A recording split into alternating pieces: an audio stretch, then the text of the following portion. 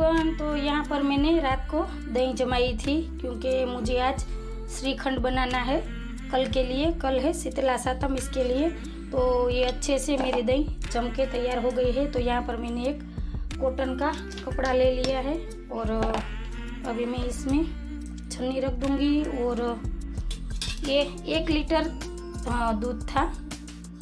तो इसे मैं अभी इसमें छान लूँगी। हमें खट्टी दही नहीं चाहिए। तो मैंने जामन थोड़ा सा ही ऐड किया था। तो अभी मैं इसमें सारा दही ऐड कर दूँगी। इतना सा रख लूँगी मैं खाने के लिए दोपहर को। और इसे अच्छे से बाँध के ऐसे कपड़े को तो अभी मैंने इस दही को अच्छे से इस कपड़े में बाँध दिया है। आप देख सकते हो, गांठ लगा दी है। और मैं इसी छन्नी में रख दूँगी और नीचे बाउल रखूँगी। और इसे मैं तीन से चार घंटे के लिए फ्रिज में सेट होने के लिए रख दूँगी। तो श्रीखंड बनाने के लिए हमारा मट्ठा अच्छे से तैयार हो जाएगा। और बीच बीच में मैं इसे देखती भी रहूँगी कि अच्छे से मट्ठा हमारा बना है कि नहीं बना। तो चलो, इसे मैं पहले फ्रिज में रख देती हूँ। फ्रिज से इस मट्ठे को निकाल लिया है और ये बहुत ही अच्छे से सेट हो गया है। तो अभी मैं आपको खोल के दिखा रही हूँ और इस बीच मैंने एक बार चेक किया था और नीचे भिगो जो बाउल था उसमें पानी ज़्यादा जमा हो गया था तो वो मैंने निकाल लिया था। तो अभी आप देख सकते हो, ये मट्ठा हमारा बन के तैयार हो गया है और मैंने इस बाउल में इसे निकाल लिया है और आपको अभी पानी भी दिखाऊँगी। ये पानी जो है वो दूसरी बार मैंने बाउल चेंज किया था, तब निकला था और पहली बार जो पानी निकला है, इस मट्ठे में से वो भी मैंने अलग रख लिया है। उस पानी से हम हांडवा ढोकला कड़ी या पनीर बनाने में आ, रोटी का आटा लगाने में कहीं भी हम इसे यूज़ कर सकते हैं। तो यही बता रही थी मैं आपको। और मैंने आधे घंटे पहले गर्म पानी में काजू बादाम और पिस्ता वो भिगो दिए थे और सूखी किशमिश भी मैंने भिगा दी थी। तो अभी मैं इसका सारा पानी निकाल कर उसे अच्छे से छील के काट लूँगी। फिर आपको आगे बताती हूँ।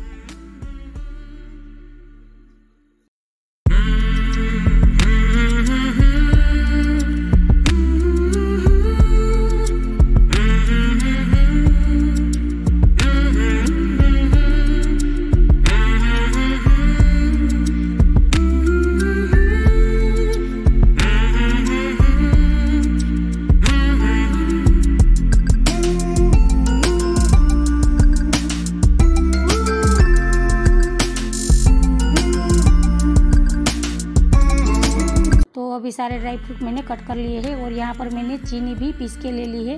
तो अभी पहले हम मट्ठे को अच्छे से मिलाएँगे और इसमें मैं थ्री फोर्थ कप चीनी ऐड करूँगी। अभी मैंने तीन चम्मच चीनी ऐड की है और इसे हम अच्छे से बिस्कर की मदद से मिलाएँगे। पहले थोड़ा हार्ड लगेगा आपको मिलाने में क्योंकि फ्रिज से हमने मट्ठा निकाला था।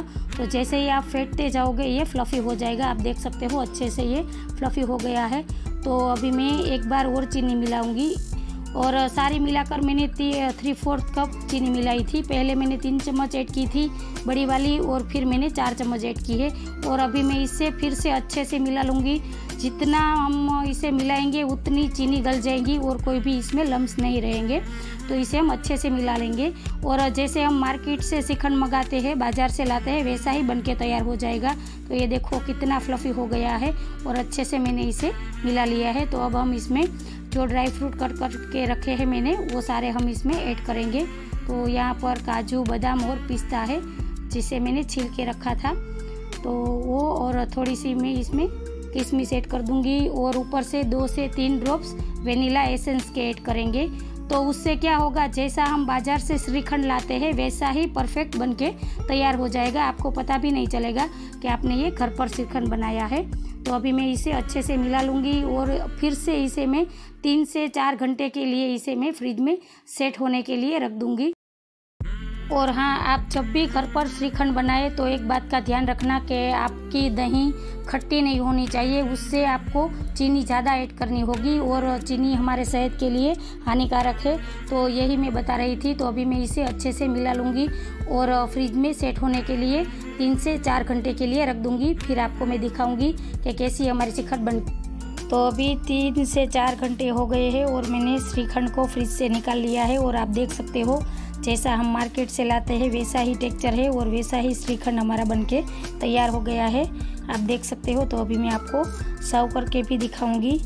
और ये खाने में जैसा मार्केट से हम लाते हैं, वैसा ही टेस्ट और टेक्चर होगा। तो यहाँ पर मैंने सर्व कर दिया है आप लोगों के लिए। तो हमारा श्रीखंड बनके तैयार हो गया हो गया है।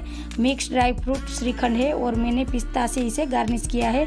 तो आप लोग इसे एक बार ज़रूर ट्राई करना और घर पे बनाना और मुझे कमेंट में बताना कि मेरी ये रेसिपी आप लोगों को कैसी लगी।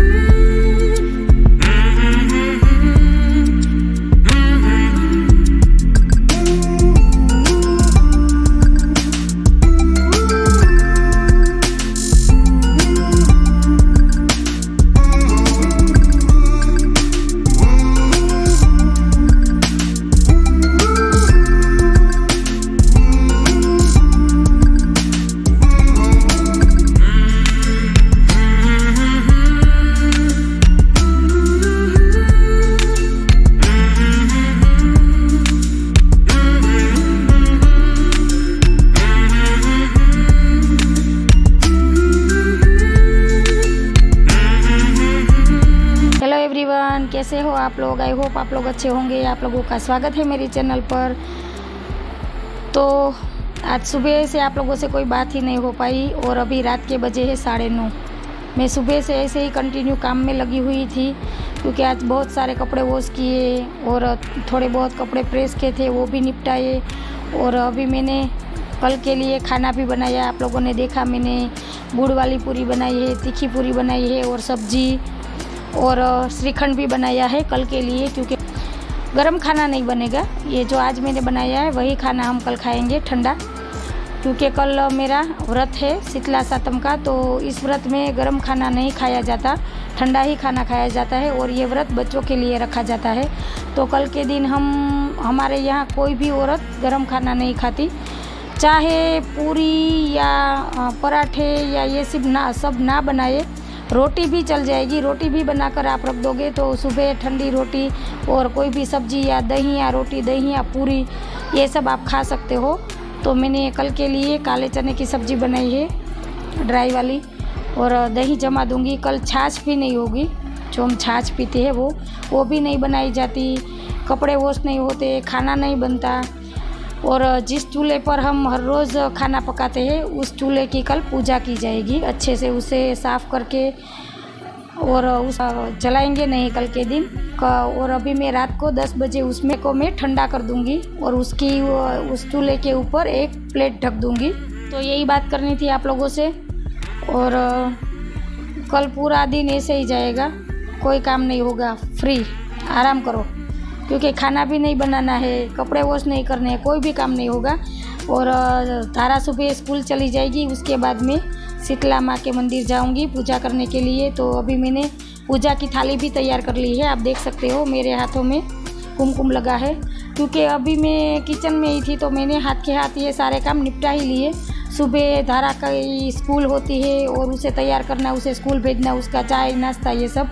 तो इसी वजह से मैंने सोचा, चलो थकी हूँ तो थोड़ी और थकूँगी, उससे क्या फ़र्क पड़ेगा? तो मैं पहले ये सब काम निपटा लेती हूँ, उसके बाद ही मैं आराम से बैठूँगी और आप लोगों से बात करूँगी, वो मैंने सोच के ही रखा था। तो बस यही बात करनी थी आप लोगों से। तो आप लोगों को मेरा वीडियो थोड़ा सा भी अच्छा लगे तो मेरी वीडियो को लाइक, शेयर और सब्सक्राइब करना और जितना हो सके उतनी मेरी वीडियो को आगे से आगे शेयर करें। बस यही बात करनी थी। और अभी तो मुझे पैरों में भी बहुत ज़्यादा दर्द है और सिर में भी दर्द है। देखती हूँ, तारा के पापा को पूछूँगी पेन किलर वो देंगे तो खाऊँगी वो। क्योंकि ये तो हर रोज़ का हो गया है, क्योंकि इतना सारा काम अकेले ही करना, तारा को संभालना, घर का करना और बाहर का, मैं कई सारे काम एक साथ करती हूँ, पर मैं बहुत ही कम आपके साथ में शेयर करती हूँ। पूरा दिन मेरा कैसा जाता है, ये मुझे ही पता है। पूरा दिन मैं बिज़ी रहती हूँ। मैं आगे आगे आपके साथ ज़रूर शेयर करूँगी। तो वीडियो का एंड कर दिया है। फिर भी मैं आप लोगों से बात किए ही जा रही हूँ, किए ही जा रही हूँ तो बस यहीं तक था आज का वीडियो। कल फिर मिलूँगी नई वीडियो के साथ, नई रेसिपी के साथ। बाय बाय गुड नाइट जय माता जी